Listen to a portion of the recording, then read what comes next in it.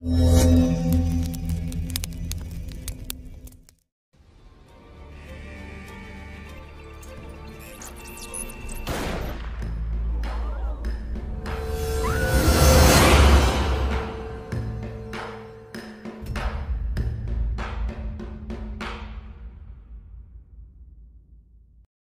है दोस्तों एक नई वीडियो और एक नई एक्सप्लेनेशन के साथ। तो आज मैं एक्सप्लेन करने वाला हूँ स्क्यूड गेम सीज़न वन के एपिसोड वन को। जो कि नेटफ्लिक्स की तरफ़ से कुछ ही दिनों पहले रिलीज़ की गई थी। यदि हम इस कहानी की बात करें तो इस सीरीज़ में बहुत से लोगों को कुछ बच्चों वाली गेम खिलाया जाता है। जिस तरह से बच्चे आउट हो जाने पर कहते हैं कि मैं मर गया, ठीक उसी तरह से ये लोग भी गेम में आउट होने पर मर जाते हैं। पर इनका मरना कोई झूठ मुठ में नहीं, बल्कि सच में होता है। तो आखिर इस गेम को खेलने के पीछे इनकी मजबूरी क्या होती है?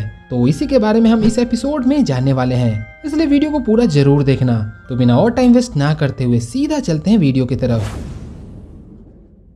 एपिसोड की शुरुआत एक फ्लैशबैक सीन से होती है, जहाँ में दिखाया जाता है कि शांगी हुन कुछ बच्चों के साथ एक प्रकार का गेम खेल रहा होता है, जिसका नाम होता है स्क्रीट गेम इस दौरान हमें उस गेम के सभी नियम भी बताए जाते हैं, और इस गेम में गी हुन काफ़ी माहिर भी होता है। फिर दूसरे सीन की शुरुआत प्रेजेंट टाइम से होता है जहाँ में दिखाया जाता है कि नाश्ता करने के दौरान सांगी हुन की माँ उसे कुछ पैसे देती है और कहती है कि आज तुम्हारी बेटी का जन्मदिन है, इसलिए आज तुम उसे कुछ अच्छा सा डिनर करवा देना। पर गी हुन को ये पैसे काफ़ी कम लगते हैं, इसलिए वहाँ से मांगे जाते ही वो उनका एटीएम कार्ड चुरा लेता है। फिर वो अपने दोस्त के साथ एटीएम में पहुँचता है और वहाँ से पैसे निकालकर कुछ पैसे को घोड़े की रेस में लगा देता है। पर जल्द ही उसे जुए में लगाए पैसे को खोना पड़ता है, क्योंकि वो रेस हार चुका था। फिर वो कुछ सोच समझकर बचे हुए पैसे को भी फिर से रेस में लगा देता है। पर इस बार किस्मत उसका साथ देती है और वो रेस जीत जाता है। इनाम के रूप में उसे काफ़ी पैसे मिलते हैं और जब वो उन पैसे को लेकर बाहर निकलता है तो वहाँ अचानक उसे कुछ लोग दिखाई देते हैं, जिसे देखकर गी हुन वहाँ से भागने लगता है। भागने के दौरान वो एक लड़की से टकराकर गिर जाता है, पर वो संभल कर उसे सॉरी कहते हुए फिर से वहाँ से भागने लगता है। पर जल्दी ये लोग गी हुन को पकड़ लेते हैं और उसे पीटना शुरू कर देते हैं। दरअसल इन लोगों ने गी को काफ़ी टाइम पहले बहुत सारे पैसे उधार में दिए थे, पर अभी तक गी ने उन पैसों को नहीं लौटाया था, इसलिए ये लोग उसे पीट कर पैसे मांगने लगते हैं, जिस पर गिहुन कहता है कि अभी मेरे पास सिर्फ़ चार मिलियन यौन ही है, पर बाकी के पैसे मैं जल्द ही लौटा दूँगा, और जैसे ही वो पैसा निकालने के लिए अपना जेब चेक करता है तो उसे पता चलता है कि उसका जेब कटा पड़ा है। तब उसे याद आता है कि भागते समय उसकी टक्कर एक लड़की से हुई थी, और शायद उसी लड़की ने उसके पैसे को चुराया हो। पैसा न देकर ये लोग फिर से उसकी पिटाई करना शुरू कर देते हैं। और फिर उससे कुछ पेपर पर साइन करवा कर कहते हैं कि अगर एक महीने के अंदर तुमने पैसे वापस नहीं किए तो मैं तुम्हारी किडनी और आँखें बेच दूँगा। उनके जाने के बाद गीहुन अपनी बेटी के लिए प्रेजेंट लेकर उससे मिलने जाता है।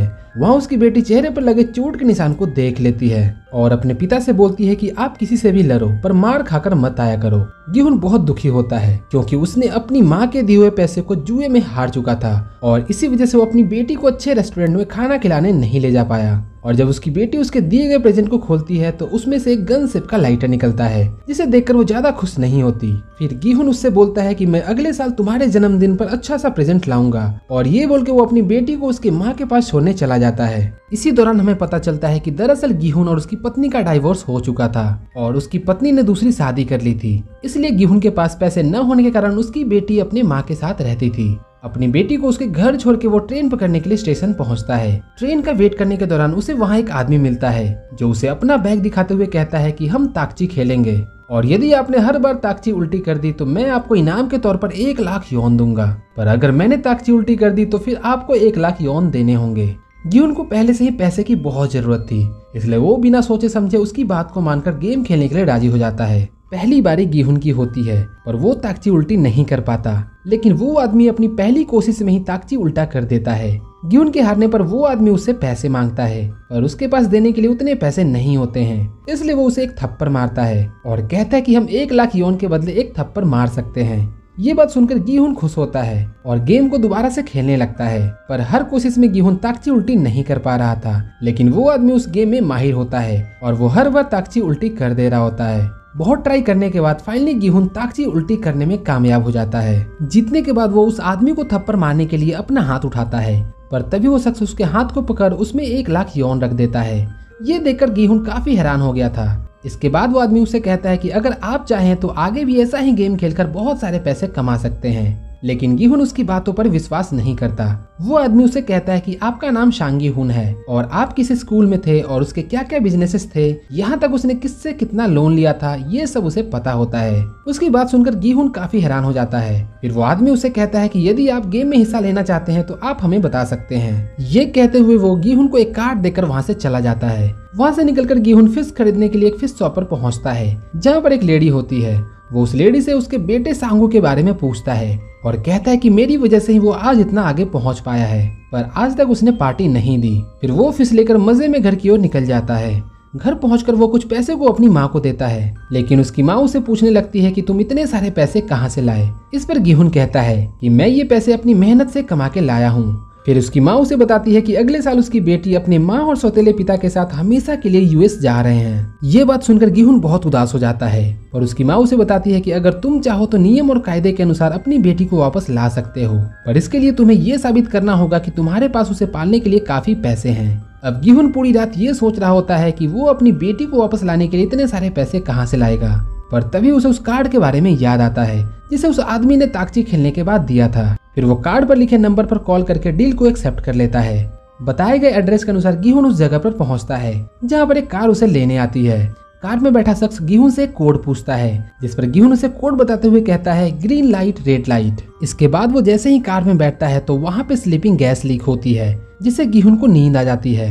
कुछ देर बाद जब उसे होश आता है तो उसे पता चलता है कि वहाँ पर उसी की तरह और भी कई लोग हैं जो उस जगह से अनजान होते हैं। वहाँ पर उसे एक बूढ़ा आदमी मिलता है जो सभी लोगों को काउंट कर रहा था। तो गिहुन उसके पास जाकर बताता है कि टीवी पर लिखा है कि यहाँ पर चार सौ छप्पन लोग हैं। तो आप काउंट क्यों कर रहे हो? जिस पर बूढ़ा आदमी उसे कहता है कि मुझे ब्रेन ट्यूमर है और मेरे पास बस गिनती के ही दिन बचे हैं। इसी दौरान एक तरह का मास्क पहने कुछ लोग वहाँ पहुँचते हैं और सभी लोग इसे कहते हैं कि उन्हें छह तरह के गेम खिलाए जाएगा और जो उस सभी गेम को जीत लेगा, उसे बहुत सारे पैसे दिए जाएँगे। लेकिन सभी लोगों को उसकी बातों पर यकीन नहीं आता है। तो मास्क पहने लोग सभी लोगों की एक एक करके उनकी हिस्ट्री बताना शुरू कर देते हैं, जिसमें हमें पता चलता है कि वहाँ प्रेजेंट सभी लोग नर्क की ज़िंदगी जी रहे थे, क्योंकि सभी लोगों ने बहुत सारा पैसा उधार ले रखा था, जिसे चुकाने के लिए उनके पास पैसे नहीं थे, इसलिए सभी लोग उस गेम को खेलने के लिए मान जाते हैं। पर इसके पहले इन्हें एक फॉर्म पर साइन करना था, जिस पर सिर्फ़ तीन रूल्स लिखे होते हैं। अब ये तीन रूल्स क्या होते हैं, ये आपको समय आने पर पता चलने वाला है। इसके बाद सभी लोगों को पहली गेम खेलने के लिए एक बड़े से मैदान में लाया जाता है। वहीं पर गेहूँ की मुलाकात शांगू से होती है जिसे वो पूछता है कि तुम यहाँ कैसे आ गए? तुम्हारी माँ ने तो बताया था कि तुम बिज़नेस ट्रिप के लिए दूसरे कंट्री गए हो। ये बात सुनकर सांगू से कहता है कि हम इस बारे में बाद में बातें करेंगे। अब इधर जिस गेम को वे लोग खेलने वाले थे, उस गेम का नाम होता है ग्रीन लाइट, रेड लाइट। इस गेम का रूल होता है कि सभी लोगों को पाँच मिनट में फिनिश लाइन तक पहुँचना है, पर वो तभी मूव कर सकते हैं जब वो बड़ी सी डॉल उन्हें ना देख रही हो।